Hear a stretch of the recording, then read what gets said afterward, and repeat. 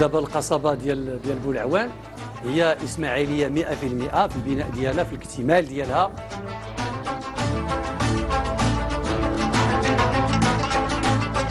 في منذ 50 عام تقريبا انقلبت. اصبحت عبارة عن ان روين ني بلوس ني موا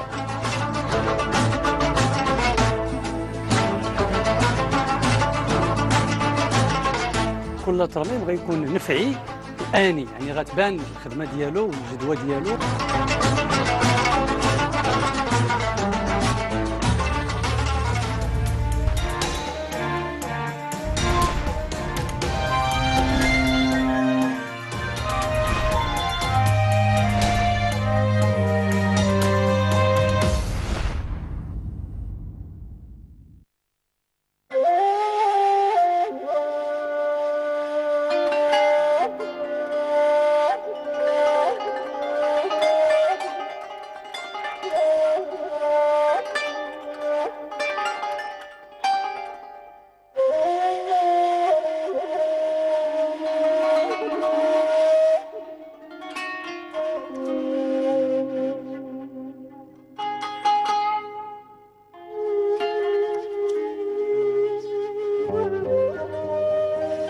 في الحقيقة هذا السؤال ديال التأثير هو تأثير متبادل بين البرتغاليين والمغاربة.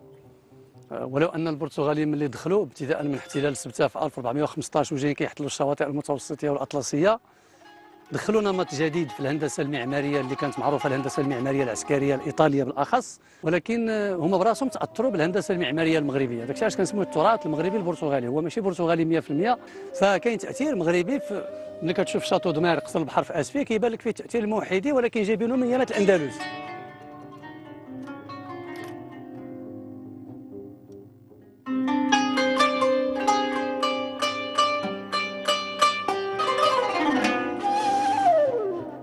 التاثير البرتغالي في المغرب كيبان بصفة خاصة في العهد السعدي ماشي في العهد العلوي. تفسير تأثير التأثر ديال السعديين بالهندسة العسكرية الأوروبية بصفة عامة البرتغالية والنمط الإيطالي ديالهم وهو أنه وليد الحاجة بعدا. لأن امتلاك السلاح الناري ما غاديش يصلحوا ليه ذاك الأبراج المغربية الوسيطيه واللي كانت في العالم كامل اللي فيها مثلا جوج الامتار فوليتي خاصك أبراج ضخمة اولا اللي كت كتصمد أمام الضربات ديال العدو بالمدافع بالمدفعية الثقيلة.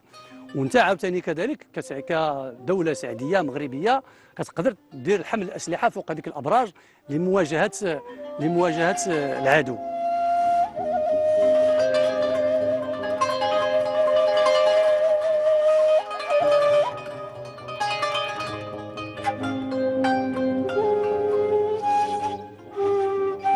حنا في قصبة بولعوان واحدة من القصبات ديال السلطان مولاي إسماعيل. اللي الموقع ديالها في, في البقاع وفي الأرض ديال دكوالة. في, في واحد من أجمل وأعقد الالتواءات ديال واد أم الربيع واحد من كبار الأنهار في في, المغرب. وفي الحد الفاصل يعني هذاك الواد هو اللي فاصل بين المجال ديال دكوالة والمجال ديال الشاوية. فجات يعني بعيدة على جديدة بواحد 70 ديال الكيلومتر.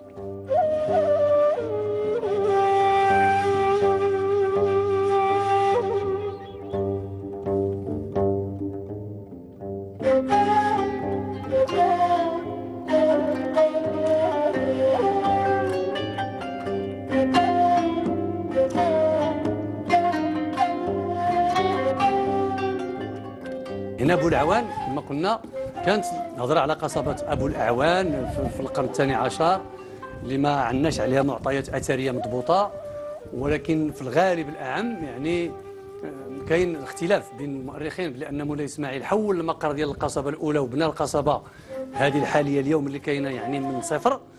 وكاين اتجاه آخر فصيل اللي كيقولوا الله راه يعني نشأها على أنقاض على أنقاض القصبة الأولى اللي كانت ديال القرن ديال القرن التاسع القرن الثاني عشر. ولكن كيف ما كان الحال في الطابع ديالها العام دابا القصبة ديال ديال بولعوان هي إسماعيلية 100% في البناء ديالها في الاكتمال ديالها.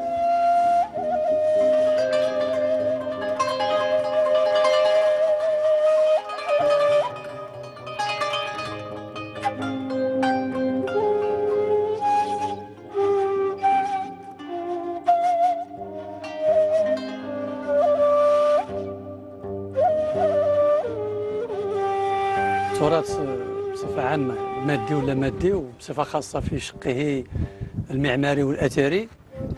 هو فيه عنده أبعاد دلالات رمزية ديالو. كاين البعد الأول هوياتي عنده علاقة مع التاريخ جميع شعوب الأرض يعني ديال الهوية ديال الشعب وديال البلد وديال الأمة.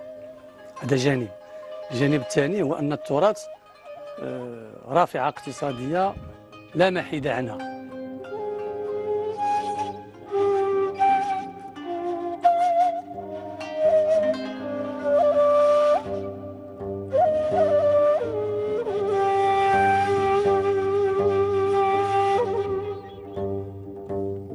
وحنا دابا في القصر ديال بولعوان عندها خصوصية عن باقي المعمار اللي هو موجود مثلا في المدن.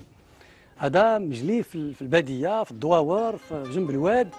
يعني الترميم ديالو آه، مكلف جدا. وكل يعني عبر عبر محطات ديال الترميم كل ترميم غيكون نفعي وآني. يعني غتبان الخدمة ديالو والجدوى ديالو والواقع ديالو غيبان يعني في غيبان يعني من الناحيه السوسيو ثقافيه ومن الناحيه السوسيو اقتصاديه على بصفة عامة غيكون عنده وقع مباشر يعني وسريع. في يعني ترميم ترميم ذكي.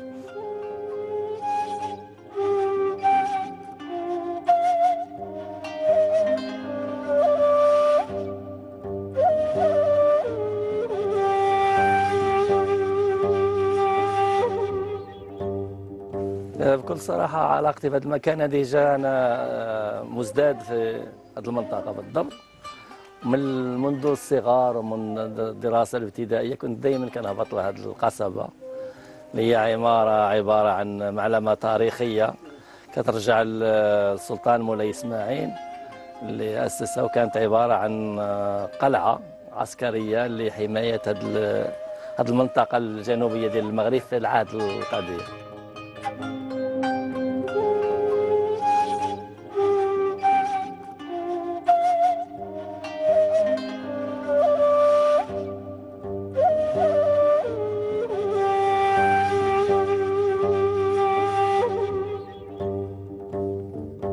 كاينش العنايه نهائيا حتى أنها في منذ 50 عام تقريبا انقلبت.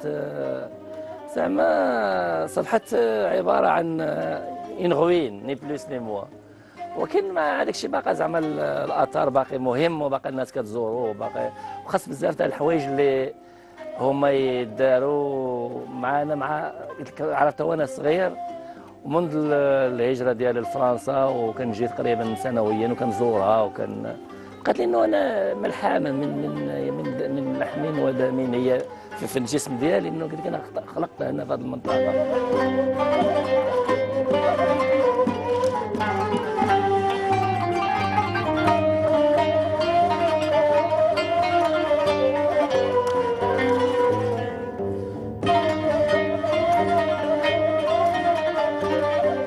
ما كاينش les infrastructures ما كاين لا بنية تحتية لا لا مقاهي والناس كي كيعانيوا من هذا من هذا المشكل.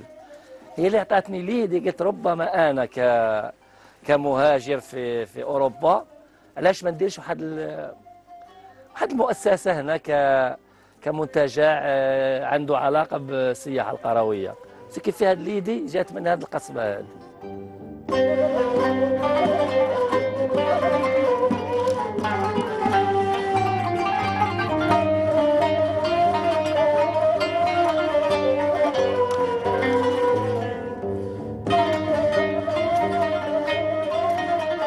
الحالة ديال بولعوان باش نكونوا واضحين.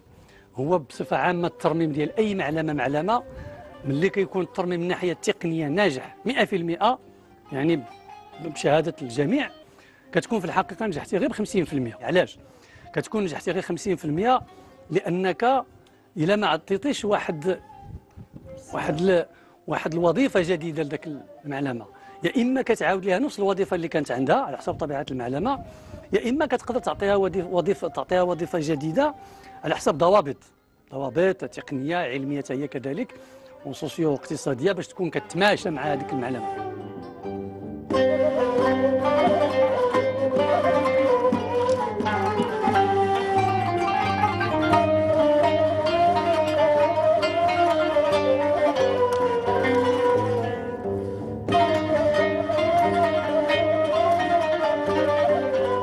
الحالة ديال القصبة ديال بولعوان ملي نساليو الترميمات ديالها وتكون ترميمات تقنية ناجحة غادي يكون عندنا خصنا إعادة الاستثمار ديال هذا الفضاء. فإعادة الاستثمار ديال بولعوان كما قلت مختلف على الاستثمار ديال المعالم التاريخية داخل الفضاء ديال المدن.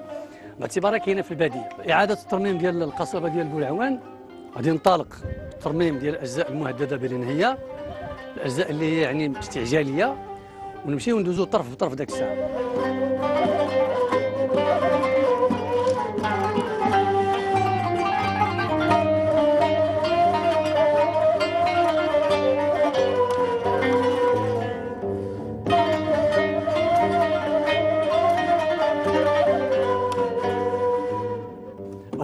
مثلا عندنا دار السلطان مع المنزه ديالها اللي طالع شاهق تبارك الله.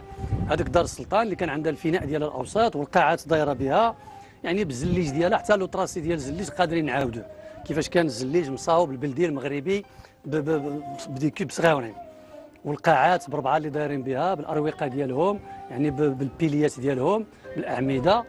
وكذلك المنزه. المنزه اللي فيه واحد ثلاثة ديال الطوابق ديال الشرفات منين كتمكن تطلع على على الواد ديال ام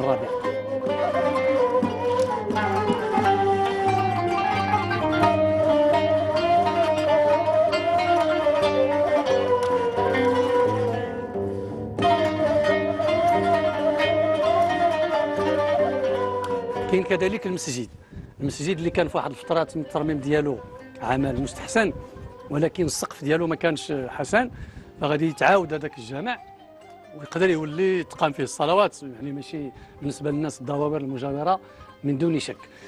عندنا الأهرية كذلك. الأهرية هذوك الهريان اللي عارفينهم اللي باقيين باقيين واللي نضاطروا عارفينهم نقدروا نعاودوا غادي نصلحوهم.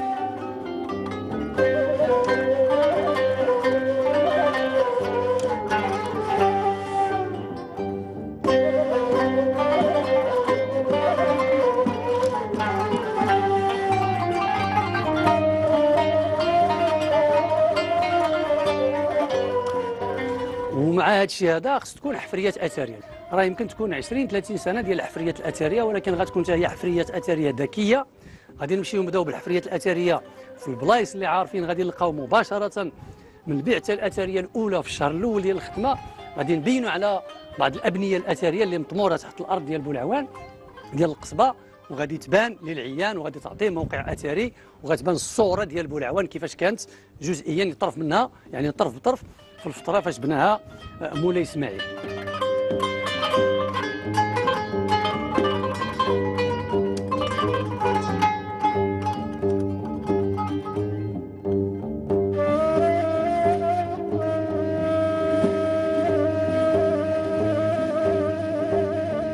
هذه الفضاءات الأخرى اللي هضرنا عليها ممكن تعطيها وظيفة.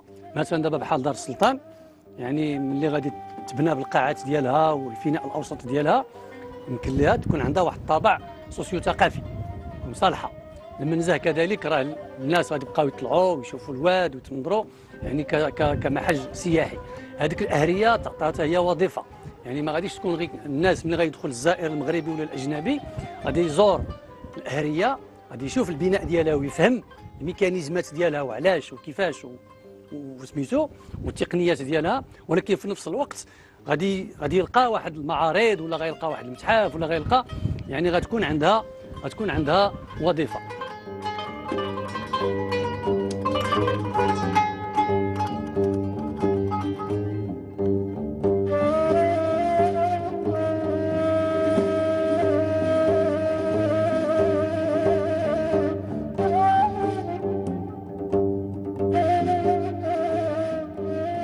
خصنا نخلقوا واحد الجو عام هنا ديال بولعوان لما يأتي السائح ما يمكنش ما يلقاش قهوه فين يشرب قهوة ولا فين يأكل ولا شي لا غادي يلقى بلانه راه ممكن يجي لبولعوان ويريحنا ثلاث أيام ماشي غادي يجي في الحافلة السياحيه ولا في السيارة ديالو ويزورها ويشوف هادشي كله مزيان. وغادي يكون الدخول بالأداء بطبيعة الحال لأن غادي تولي ذاك الساعة معلمة مؤدى عليها الدخول ولكن الدخول ما ماشي شي فلوس كثيرة بزاف.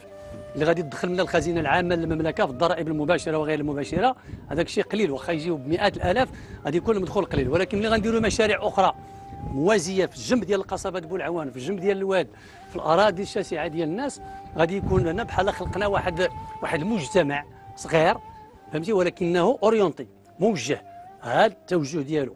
غادي تولي أروقة ديال البيع والشراء غادي تولي أروقة الصناعه التقليديه غادي يوليو دكاكين يكونوا مقاهي ويكون اقامات سياحية مثلا لا ميزون دوت ذاك دور الضيافة ويكون عنده طابع بلدي.